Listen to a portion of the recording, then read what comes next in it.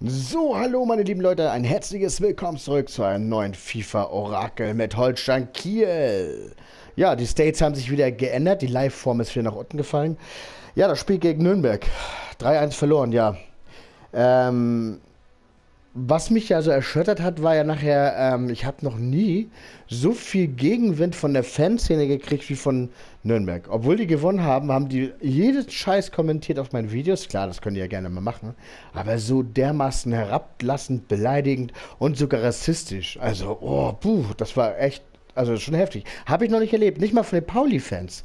Also das ist schon echt hardcore gewesen. Aber nichtsdestotrotz, wie es dem, ist, dem auch sei, ähm, Holstein Kiel muss eigentlich gewinnen, kann aber auch ein Unentschieden spielen tatsächlich.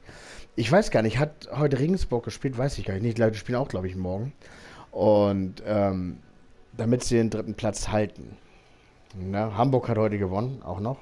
So, wir wollen direkt mal loslegen. Mal schauen mit unserem schönen Orakel. Ja, Holstein Kiel spielt in Blau. Ich weiß gar nicht, wie die äh, in Ingolstadt Heimtrikotmäßig spielen. Ich gucke mir Ingolstadt ehrlich gesagt auch gar nicht wirklich. Naja, es ist halt eben Ingolstadt. okay. Wie dem auch sei, ich weiß gar nicht, was ich hier machen soll, aber das interessiert uns gerade nicht. Wir wollen jetzt direkt weiterlegen.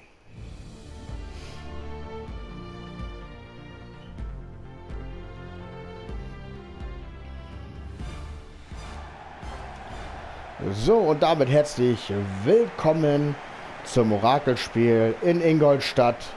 Ingolstadt gegen Holstein Kiel. Wir spielen mit Holstein Kiel und Holstein Kiel wird wahrscheinlich, ah, ich denke mal, den werden schon vernünftig spielen. Ich hoffe, daraus haben sie gelernt. Aber andersrum, mit diesem Trainerwechsel, das könnte auch so eine psychologische Sache gewesen sein.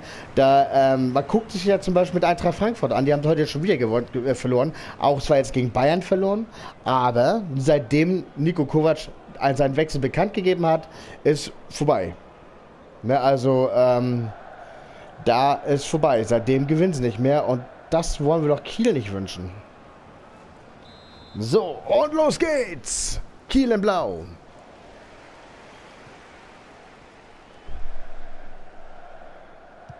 Ich kann ja nebenbei nochmal meine Eindrücke vom Stadion sagen. Wir waren ja da gewesen. Ähm, wir hatten Nürnberger Fans im Block gehabt. Und das war eine reine Katastrophe. Einige Nürnberger waren total vernünftig, haben mich auch ganz nett mit denen unterhalten, waren ganz nette Leute. Andere Nürnberger, die haben so Theater gemacht, in unserem Kieler Block haben die so Theater gemacht und hämisch und verachtend gewesen alles. Die haben sogar fast von den eigenen Nürnberger was aufs Maul gekriegt. Das war also schon echt heftig. Und die Orte stehen da, stehen wirklich mit übereinander gestrengten Armen da, Hauptsache geil aussehen, aber haben überhaupt nichts gemacht. Gar nichts. Schrecklich sowas. Also solche Ordner kann man, auf die kann man auch verzichten, ne? So, Vandenberg kommt mit nach vorne. Hat viel, viel Platz. Aber leider wird daraus nichts. Ach, das ist ja schon wieder ein blauer Schiedsrichter. So, Kim Zombie. Der hat auch Platz. Der kann schießen. Oh, wird aber abgefangen. Naja, und da waren dann eben halt auch die vernünftigen Fans. Die haben sich dann die Idioten geschnappt haben dann zu denen auch gesagt, pass auf Leute, ihr seid eine Schande für alle Nürnberger Fans. Ihr könnt nicht mal unsere Lieder singen, ihr benimmt euch hier wie Sau in den, in den Kieler Block. In Kieler, ihr seid hier Gäste und ihr habt hier Respekt zu haben. Ansonsten müssen die mal den Gästeblock gehen. Ja, das war dann nicht gut. Also das war echt schade eigentlich. Marvin Doksch hat auch wieder Platz. Der kann's machen und... Oi, oi, oi. Ja, und folgedessen war das so, ja, mein Vater hat sich auch einen von denen gekrallt und ähm, ach, das war nicht schön. Das war auch überhaupt nicht schön. Außerdem gefällt mir der Block auch nicht, wo wir da gewesen sind. Aber wir mussten ja eben halt den nehmen, der war ausverkauft. Also das Spiel war ja ausverkauft, war ein Top-Spiel. Ähm, von der Atmosphäre her sehr toll. Die Kieler Fans, ein, eine, ja, die Kieler Fans waren toll. Also, dass der ganze H- und I-Block zusammen gehüpft ist, das habe ich ja äh, noch nie gesehen, glaube ich. Vor allem sieht es ja geil aus, weil er ja nun erweitert und vergrößert worden ist. Es war eine hüpfende Menge. Es sah echt toll aus. Ist auch in meinem Video zu sehen, tatsächlich. In meinem Stadionvideo, was ich da gemacht habe. Und das sah echt mega toll aus. War also klasse. So, jetzt aber zurück in Ingolstadt.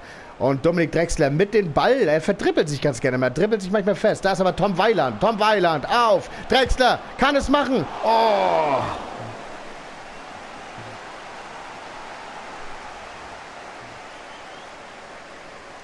Oh, und dann durch die Beine vom Torwart, ne? Wahnsinn. Und dann geht er doch nicht. Aber es müsste Eckball nicht geben. Ich habe mir vorgestellt, der war noch irgendwie dran, aber kann mich auch ein bisschen getäuscht haben dabei. So.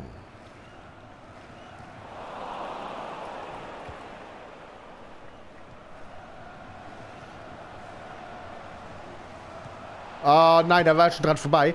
Da habe ich so spät reagiert. Vandenberg hat Platz. Auf Drexler, der kann auch schießen. Aber er dribbelt normalerweise viel lieber rein.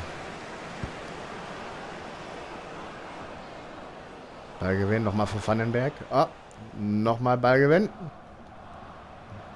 Marvin Dox. Dominik Drexler verliert den Ball.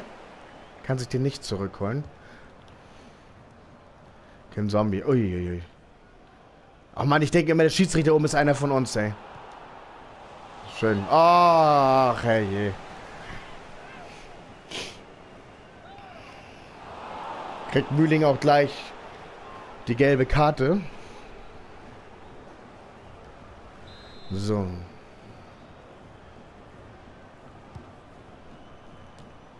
Schön rausgeholt da.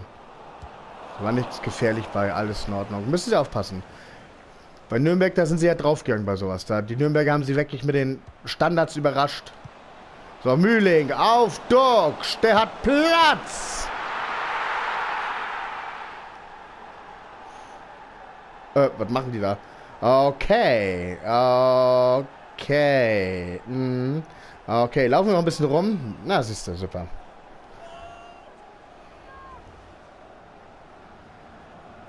Oh, aber war ein sauberer Pass auf Docs, ne? Wahnsinn.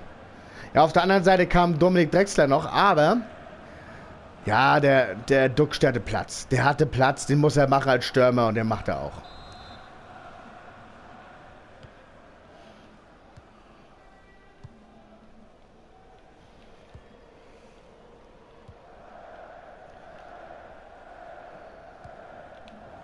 So, können Zombie mit dem Ball gewinnen? Ja, Quatsch, Kingsley Schindler meine ich. Entschuldige. Auf Dogs kommt nicht ganz ran. Aber Kingsley Schindler verliert den Ball. Was natürlich ein bisschen ärgerlich ist, aber auch nicht weltbewegend. So, nun haben wir es. Drexler. Och, nee. Wieder der Schiedsrichter, der blaue Schiedsrichter, sollte verboten werden.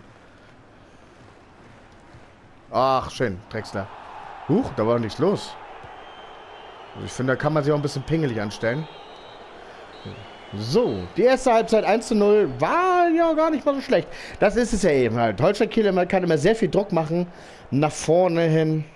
Ähm, ist Holstein Kiel ja beim Spiel gegen Nürnberg nicht gelungen in der ersten Halbzeit. In der zweiten Halbzeit ging alles nur in eine Richtung. Und zwar aufs Nürnberger Tor, auf Kirschbaum.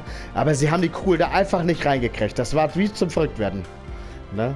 So, und jetzt ist es eben so genauso. Ballbesitz geht mehr an Ingolstadt. So. Zweite Halbzeit. Kann mir vorstellen, dass Alexander Mühling nochmal ausgewechselt wird. Aufgrund der gelben Karte.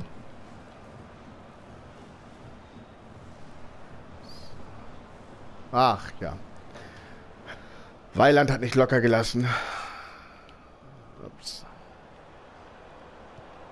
Guter Einsatz. Oh, schön. Vandenberg mit dem Ball gewinnen. Oh, wie konnte denn da vorbeirutschen? Da. Mühlig mit dem Ball gewinnen. So, auf Drexler. Der hat auch nochmal eine gelbe Karte gekriegt. Und das müsste kein Abseits sein, weil sich Marvin Duksch nicht aktiv daran beteiligt.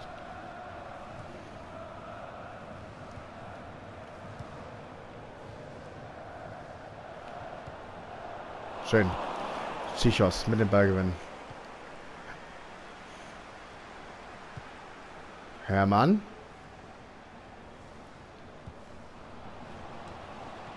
Docs. Oh. Da habe ich schon weiter geguckt. Ich war schon eigentlich startklar zum Schießen.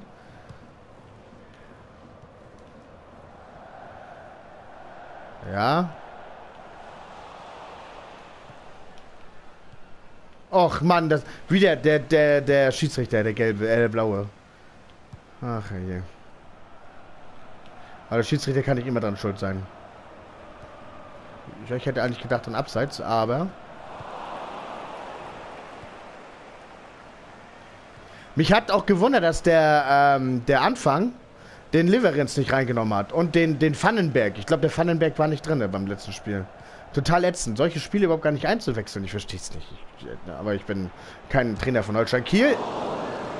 Ich bin Trainer von SG Schleswig. Und da setze ich auch mal ein paar Leute rein. Schöner Pass. Jetzt noch oben weg. Ach, ey. Ah, okay. Weiter kämpfen, weiter kämpfen. Weiter kämpfen. Oh, wie wird er denn festgehalten einfach? Oh, oh, oh, oh, Freunde. So, ich werde mal ganz kurz wechseln. Wechseln, wechseln, wechseln. So. Da, so. Da haben wir schon Mühling.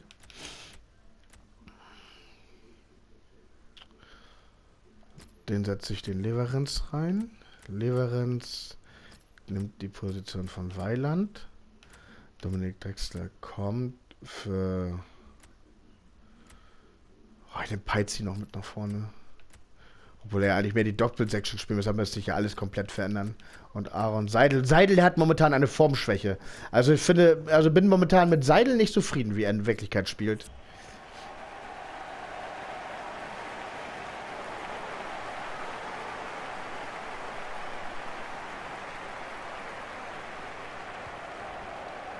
Ach ey.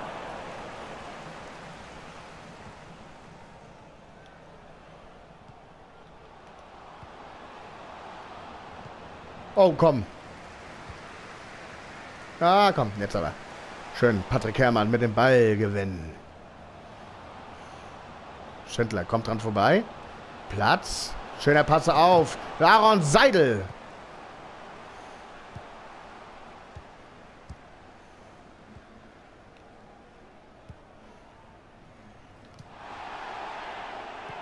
Schön. Dominik Peitz. Sieht Seidel mitlaufen. Seidel ist nicht schnell, aber er kriegt ihn trotzdem. Gibt den Pass in die Mitte, aber der kam zu weit. Leverenz hat den Ball noch. Oh, die Flanke kommt nicht. Seidel mit der Flanke nochmal rein. Auf Schindler.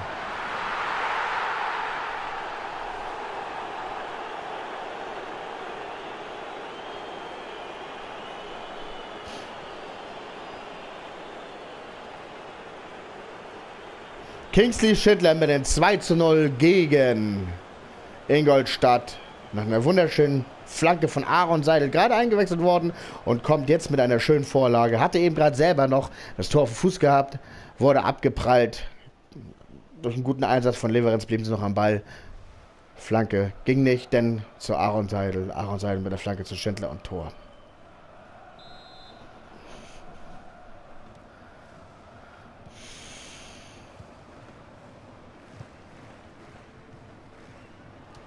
Schön gemacht. So.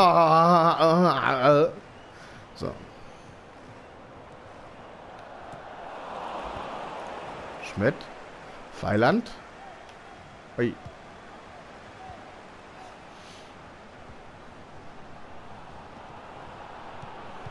Sichers. Feiland. Seidel. Der ist ganz alleine. Oh, bitte!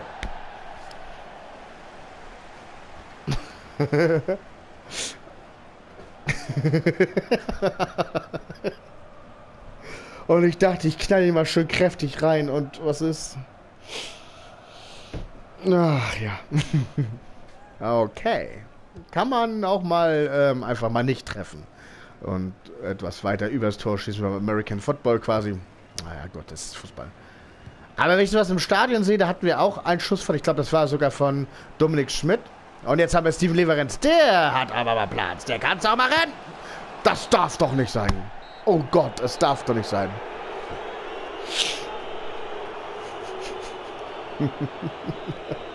oh Gott, herrje. Naja, Gott.